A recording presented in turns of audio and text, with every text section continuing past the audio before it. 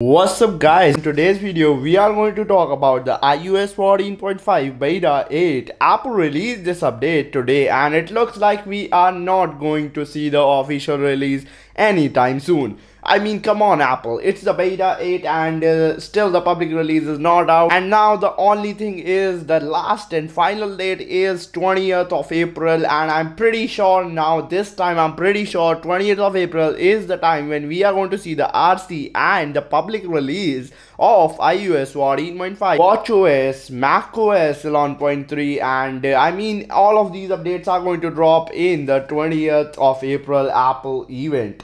Now talking about this update, on my iPhone 12 I was having some battery drain issues and apparently I think so that uh, they may have fixed the battery drain issue on the beta 7 and uh, many of you guys even reported about this on Twitter at the rate tech hype. You can follow me if you want to. Uh, if you want to report some issues about iOS or if you're having some trouble, follow me on TechHype. We are really close to 1.5k and it would be really awesome if you can go ahead and follow me. Now talking about new features, there are not really particularly any new features, but there are some security fixes on this update.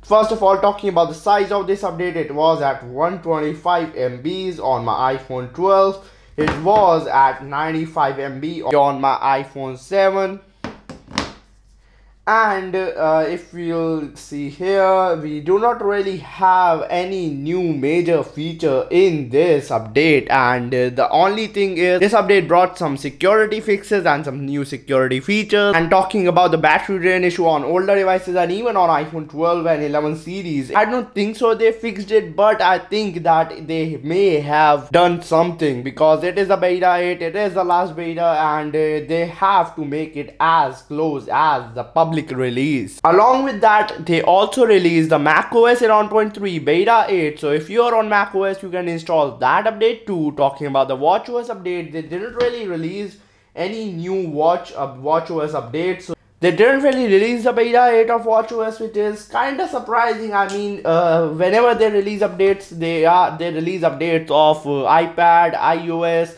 and uh, then we have MacBook and uh, all of uh, you got the point right? But they didn't release this time they didn't really release the update of watchOS we may see it later today, but still I am confused why they didn't release a beta 8 of WatchOS. So that's it for today's video. If you do own an iPhone 11, 10 or 7, uh, if you do own one of these devices, uh, let me know down in the comments below what is your experience on beta 7. I will be sharing my thoughts and my full reviews on those devices really really soon so you don't want to miss them. So consider hitting the like button and subscribe to the channel if you are new here. Peace out and i'll meet you all in the very next episode